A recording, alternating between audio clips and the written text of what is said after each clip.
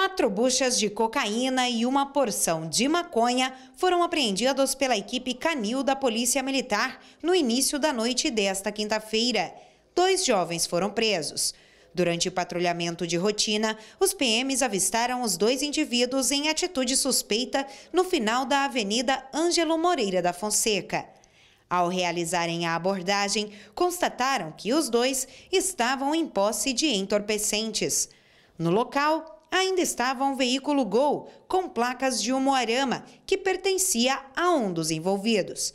Segundo informações da polícia, o veículo apresentava irregularidades na documentação e foi recolhido ao pátio da Quinta Companhia.